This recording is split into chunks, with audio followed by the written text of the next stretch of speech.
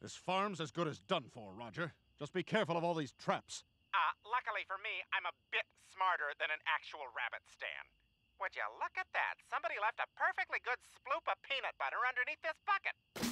Varmint! Ah!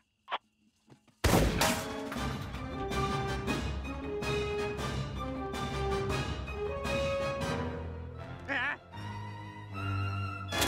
Do it, Hayley. I've been depressed for a good long while now. Hayley, stop! Roger, we'll get you help. Listen, I owe you an apology. What good is making you tough enough to take care of yourself if along the way you lose everything that made you such a kind, compassionate, wonderful person to begin with? I miss that, Hayley. The soft Hayley. Well, I guess I'll be killing two varmints today. Can't shoot through a blanket. Get this thing off of me! So goddang soft and plush and. James Corden. So mildly amusing.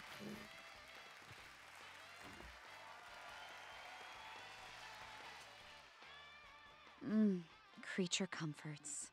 Wow, I guess I got a little carried away, huh? I'm just glad to have you back, baby girl, and that we put everything back to normal before anybody really got hurt. So cold. Jeff, thank God. They're hunting me, Jeff.